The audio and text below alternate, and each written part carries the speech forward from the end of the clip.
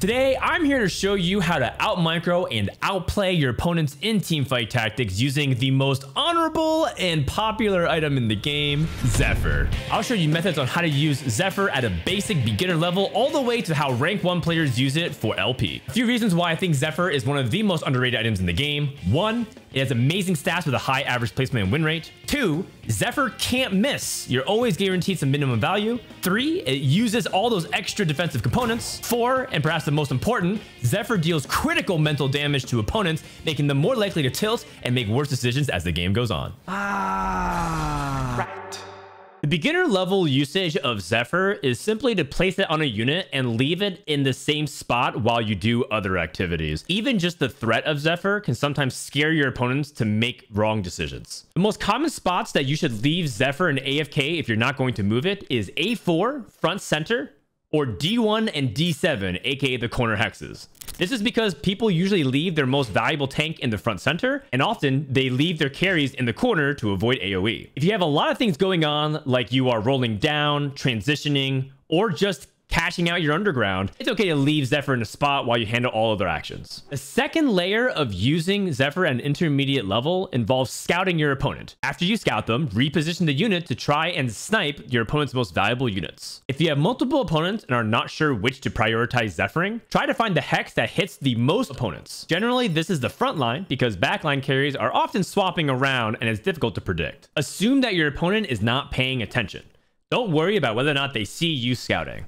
Only start changing up your Zephyr snipes if they prove that they are capable of doing advanced positioning tactics. For example, if you know your opponent is rolling down, you can place a Zephyr on a hex and know that they are unlikely to move it because they are busy. It's a good idea to mix up when you're Zephyring frontline and backline, even if it's a unit that doesn't belong in that spot. For example, if you have a unit that is generally a backliner and you're Zephyring a frontline target, that is still okay because it'll be worth disabling that unit. The expert level is scouting all your opponents. If you scout all your opponents every round, it'll put all of them on edge. When scouting, observe your opponent's patterns at a deeper level. Everyone has a pattern. Some people generically mirror their boards from left to right. Some only swap a couple times per stage. Some people are hyper fixated and randomize their backline, so it's hard to snipe them, but they leave their front line exposed. Make mental notes on what these patterns are so that way you can get maximum Zephyr usage. For example, we can see Mismatch Socks landing Zephyr twice in a row because he anticipates the swaps and he's been observing his opponent's patterns. After combat starts, click on the opponents you could have queued into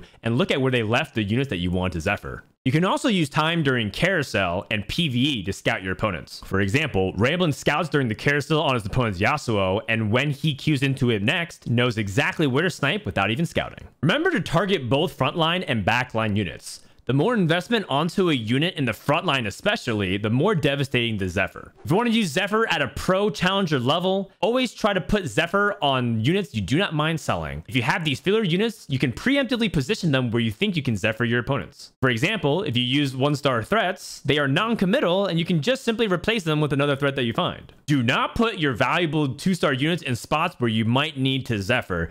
Selling the two-star units is way harder to find later on. You can react to your opponent's board and cheese the Zephyr each round. Wait for your opponent's board to load in and then cheese the Zephyr based on the ideal spot. We call this action juggling Zephyrs. When juggling Zephyrs, you can sell the units, use an item remover, or use item pop-offs such as putting Thief's Gloves on a unit on the board and then making it as a two star. So now that you're using Zephyr at a pro level, here's how the rank one players push it to the next level. Zephyrs can be used to manipulate pathing and positioning. If you have a melee bruiser carry, for example, you could use Zephyr as a way to potentially ignore one of the few frontliners and get straight backline access as if it were an assassin. Be careful, the opposite is also true. Make sure to avoid Zephyring the only place your melee carry can walk. Otherwise, your carry will be more lost than your favorite streamer during a massive rolldown. I'm fucking lost. The best way to improve your Zephyr micro is to use hotkeys. This is mainly for PC only. The most important hotkey to remember is the spacebar. When using spacebar, you'll return to your board and can immediately react to how your opponents are positioning. Notice how Sologasong clicks on the unit holding Zephyr, hangs around his opponent's boards, and at the very last second, swaps back to his board for the ideal Zephyr.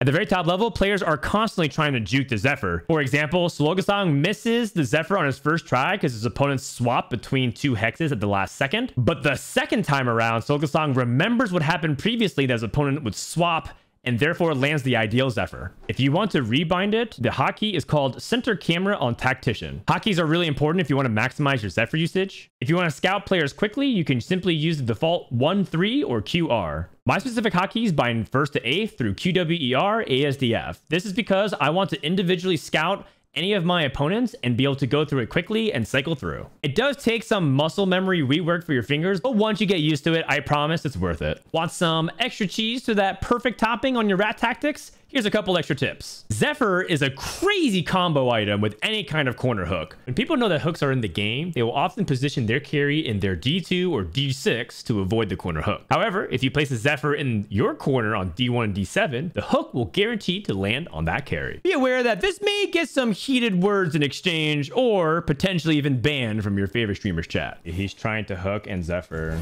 That's a ban.